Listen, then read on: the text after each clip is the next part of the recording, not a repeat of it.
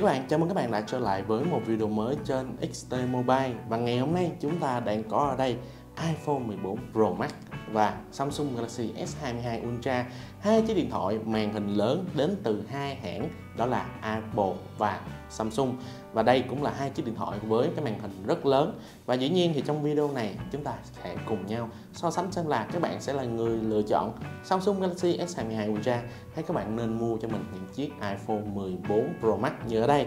Và dĩ nhiên thì hiện tại ở ST Mobile, nếu mà các bạn đang muốn mua những chiếc iPhone 14 series thì các bạn hoàn toàn có thể đến với ST Mobile. Hiện tại ở đây đang bán rất là nhiều những chiếc iPhone 14 series. Hàng chính hãng VNA vừa được bán vừa được chính thức bán ra. À, và mình sẽ để đường link mua hàng ở phần bên dưới của video để chúng ta có thể dễ dàng tha đó và tham khảo. Còn bây giờ hãy cùng mình đến với Samsung Galaxy S22 Ultra đối đầu với iPhone 14 Pro Max điểm đầu tiên mà chúng ta cần phải nói đến cũng là cái điểm mà mình rất thích trên chiếc iPhone 14 Pro Max đó chính là màn hình của nó. À, ở đây thì hãy nói một tí về chiếc màn hình của Samsung Galaxy S22 Ultra trước nhé. Các bạn sẽ có một cái màn hình có kích thước là 6,8 inch sử dụng tấm nền là Dynamic AMOLED 2X và ở đây các bạn sẽ có tần số là 120 Hz đi kèm với đó là độ phân giải 2K cộng.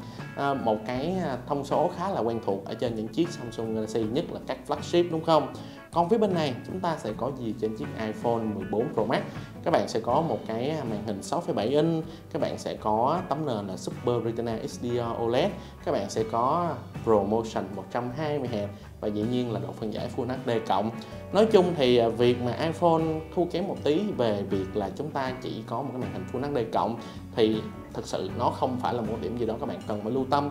Bởi vì giữa hai k cộng và giữa à, Full HD cộng, thì à, trên mọi những chiếc điện thoại như thế này thì các bạn rất là khó để chúng ta có thể thấy được sự khác biệt.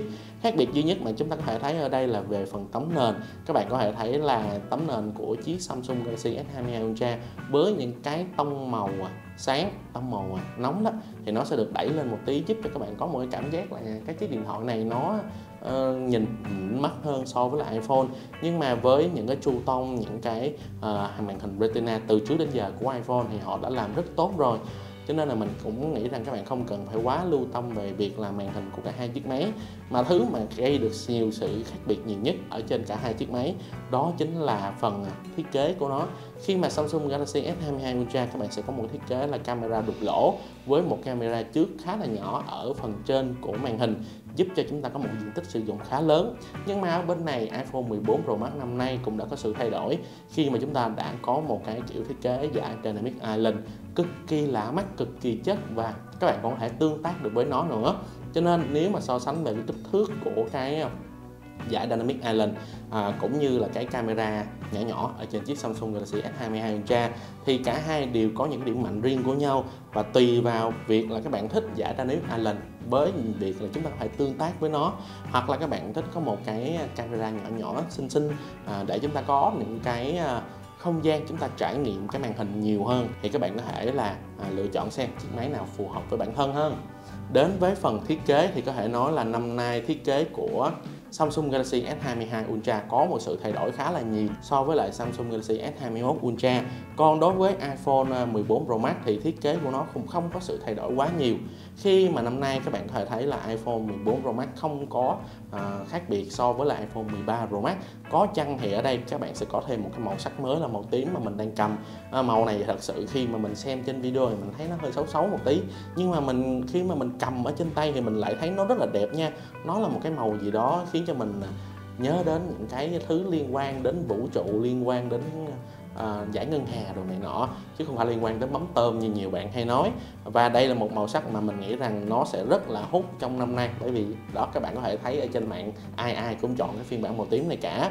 Còn bên này với chiếc Samsung Galaxy S22 Ultra thì các bạn sẽ có một cái sự à, thay đổi khá là nhiều, lột xác khá là nhiều so với lại dòng trước của nó. Khi mà ở đây nó đang có một cái kiểu thiết kế rất giống với những chiếc Samsung Galaxy Note từ trước đến giờ. Dĩ nhiên rồi mà thậm chí là các bạn sẽ có thêm cái bút S Pen của Samsung Galaxy Note trên chiếc S22 Ultra này nữa. Đây là một cái kiểu thiết kế vuông vức đây là một cái kiểu thiết kế cực kỳ nam tính và dành cho những bạn nào thích cái kiểu thiết kế này, thì các bạn sẽ nên mua chiếc Samsung Galaxy S22 Ultra. Còn đối với chiếc iPhone 14 Pro Max thì đây là một kiểu, thì đây là một thiết kế khá là dễ sử dụng, dành cho rất nhiều người, đại đa số tất cả mọi người đều có thể sử dụng cái kiểu thiết kế này. Còn đối với chiếc Samsung Galaxy S22 Ultra thì có thể nói nó hơi kén người dùng hơn một tí một tí thôi. Bởi vì cả hai chiếc máy này các bạn cũng biết là phân khúc khách hàng của chúng cũng ờ, có sự khác biệt khá là nhiều đó và dĩ nhiên thì à, nếu mà nói về việc cầm nắm á, bởi vì cả hai chiếc máy này là hai chiếc máy khá lớn cho nên là mình sẽ đặt nặng cái việc cầm nắm nhiều. Và dĩ nhiên thì à, ăn điểm nhiều hơn mình nghĩ là chỉ là chiếc Samsung Galaxy Note sẽ là chiếc Samsung Galaxy S22 Ultra. Bởi vì nó có những cái phần vát cong ở mặt sau cũng như là ở phần khung viền. Dù là các bạn có thể thấy là thiết kế của nó vuông vức ở các góc nhưng mà cầm nó sẽ dễ chịu hơn. Cho nên nếu nói về việc cầm nắm thì à, cả hai chiếc máy này đều khá là dễ cầm nắm đối với bản thân mình về phần camera ở trên cả hai chiếc máy thì mình có thể nói là nếu là nói về số lượng thì nó sẽ khác biệt nhau một tí. Còn về chất lượng hình ảnh thì cả hai chiếc máy này đều là những chiếc máy thuộc đỉnh top à, những chiếc máy chụp ảnh đẹp rồi.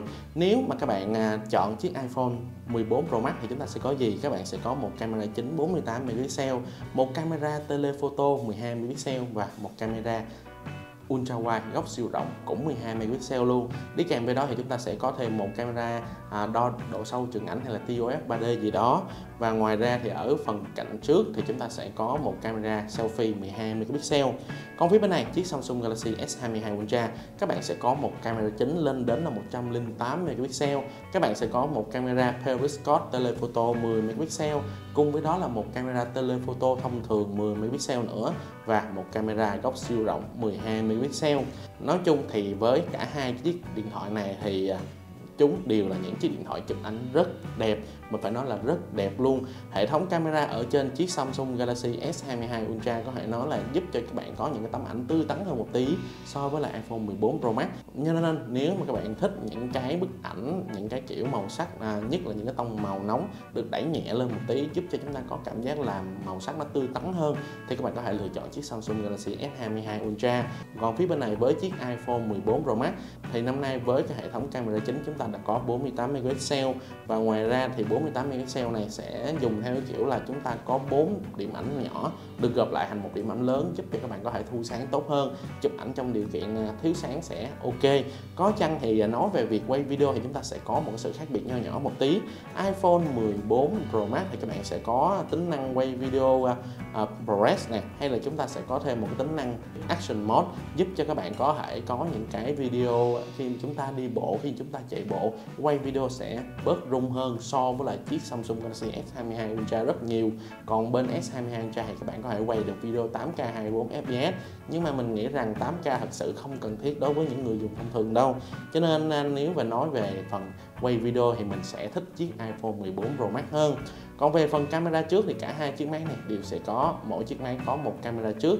À, camera trước năm nay của iPhone thì sẽ có à, khả năng à, lấy nét tốt hơn. Nhưng mà trên chiếc à, Samsung Galaxy S22 Ultra thì chúng ta cũng có khả năng lấy nét rất tốt. Cho nên là nếu mà nói về việc chụp ảnh thì các bạn cứ yên tâm cả hai chiếc máy này đều làm rất tốt cả camera sau và camera trước. Về phần dung lượng pin thì có thể nói đây là một cái phần khá là à, ngon ở trên cả hai chiếc máy. Bởi vì dù được sự chênh lệch về dung lượng pin đó khi mà iPhone 14 Pro Max sẽ có dung lượng pin đâu đó khoảng tầm 4.300 mAh. Còn chiếc Samsung Galaxy S22 Ultra này các bạn sẽ có một dung lượng pin là 5.000 mAh. Tuy nhiên thì cả hai chiếc máy này đều sẽ giúp cho bạn có thể là sử dụng với cái dung lượng pin đâu đó khoảng tầm từ một ngày đến một ngày rưỡi. Rất là thoải mái để giúp chúng ta có thể sử dụng. Và dĩ nhiên thì à, cả hai chiếc máy này bởi vì chúng tối ưu hóa rất tốt viên pin, cho nên với những cái dung lượng pin như thế này các bạn cứ yên tâm à, khả năng sử dụng của nó trong cả một ngày là rất thoải mái. Kể cả các bạn có chơi game, kể cả các bạn có làm những cái tác vụ nặng thì nó vẫn là một dung lượng pin rất là ngon ở trên cả hai chiếc máy này và cuối cùng là chúng ta hãy nói về cái vi xử lý ở trên cả hai chiếc máy này. Samsung Galaxy S22 Ultra, các bạn sẽ có vi xử lý là Qualcomm Snapdragon 8 Gen 1 còn trên chiếc iPhone 14 Pro Max sẽ là Apple A16 Bionic. Dù là vi xử lý A16 Bionic ở trên chiếc iPhone 14 ra mắt sau đó. Nhưng về hiệu năng thì có thể nói là cả hai chiếc máy này đều sẽ ngang ngang với nhau. À, nói chung thì với những cái tác vụ chơi game thì mình có thể nói là chiếc Samsung Galaxy à, S22 Ultra sẽ vượt trội hơn một tí. Nhưng mà nói chung với những cái tác vụ thông thường các bạn hàng ngày với những cái tác vụ hỗn hợp thì cả hai cái pin xử lý này đều mang lại chúng ta một cái hiệu năng rất ngon trên cả hai chiếc máy. Và rồi đó là những gì mà mình có thể nói về sự khác biệt giữa Samsung Galaxy S22 Ultra và chiếc iPhone 14 Pro Max. Ừ, các bạn các bạn sẽ lựa chọn chiếc điện thoại nào? Các bạn sẽ là Samsung hay các bạn sẽ là iPhone? Nói chung cả hai chiếc máy này đều rất là ngon với những cái tác vụ mà nó mang lại, những thứ mà nó mang lại là rất ok. Cho nên là chúng ta cũng không cần phải quá lo lắng nhiều, chỉ là các bạn thích bên nào thì chúng ta mua bên đó mà thôi.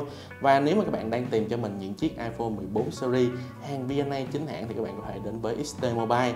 Hiện tại XT Mobile đang mở bán những chiếc điện thoại iPhone 14 series, hàng VNA đường link mua hàng, mình sẽ để ở phần mô tả của video để các bạn có thể dễ dàng vào tham khảo. Cũng như là nếu các bạn tìm mua cho mình chiếc Samsung Galaxy S22 Ultra hoặc bất cứ những chiếc Samsung nào khác thì Easter Mobile cũng bán rất nhiều.